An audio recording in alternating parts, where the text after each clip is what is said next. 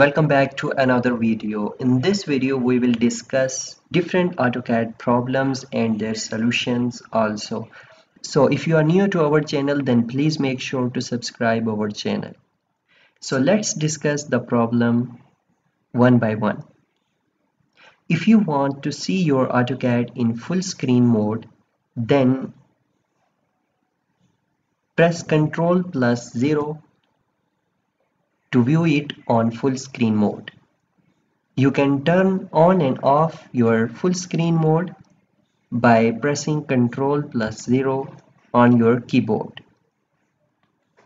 If your toolbars are high due to any off reason, then go to this arrow and change the workspace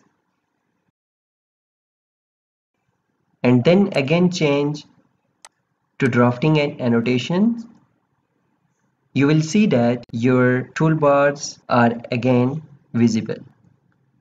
The next problem is how to change pick box size and crosshair size. If you think that your crosshair size and pick box size is small and you want to enlarge it, then right click on mouse, go to options you can change them from display and selection tab. First we will change the crosshair size from display, increase its size, then go to selection and change the pick box size. Click on apply and OK. You will see that your crosshair size and pick box size has been changed. The next problem is in ribbons. These are the ribbons. You can turn on and off ribbons by entering command. If you want to turn off your ribbons, then enter a command ribbon close and your ribbon will be closed. If you want to unhide them, then again enter a command ribbon and your ribbons will be visible to you. The next problem is in menu bar. If you want to turn on the menu bar, then click here and click on show menu bar.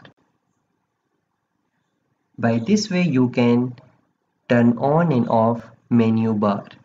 It will provide you extra options for your work. The next problem is in command line. If your command line is not visible to you and you want to unhide it, then enter a command control plus 9 on your keyboard and you will see that your command line is visible. The next problem is in the selection. Sometimes you face this type of problem. So you can simply eradicate it by first click and then select. You will see that it will select in x and y coordinates. The next problem is in drawing a straight line. If you face a problem in drawing a straight line then you can simply turn on the ortho mode to draw a straight line I hope this video was helpful for you. If you enjoyed this video then like and subscribe our channel.